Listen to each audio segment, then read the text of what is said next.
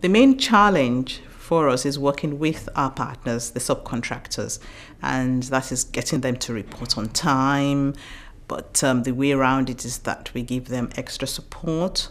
by um, you know so spending a lot of time there visiting you know their organizations and finding out what you know the difficulties are so it means you know that we're having to spend you know extra administrative you know hours or time you know than we had anticipated but we're getting around it another challenge is with beneficiaries you know, getting them, you know, to convince them. It's difficult to convince them to go for the apprenticeship. They would rather go straight to employment. But we're, but um, we're, we're trying, you know, to encourage them to go for the apprenticeship because they can then get um, training up on for level two, which is, you know, gives them a more chance, you know, of, you know, sustaining their work and progressing in work.